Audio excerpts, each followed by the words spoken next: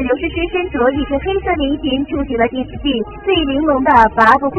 诗诗的腿又白又直，很养眼呐。衣服造型不错，但刘诗诗新剪的这个短发。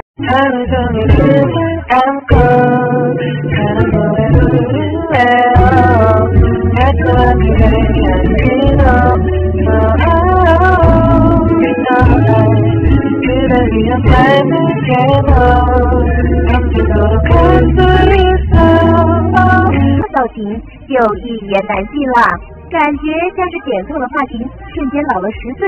很多网友看了都说，刘诗诗这新发型像被狗啃了一样，这是要跟王子文撞脸了吗？不过刘诗诗的新发型确实不好看，感觉刘诗诗还是适合中长发，这样比较适合她温婉的气质。这样的她看起来真的很老气。耳边流出的几缕长发也是看不懂，发型师太不给力了。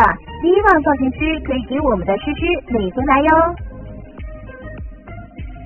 非凡娱乐整理报道。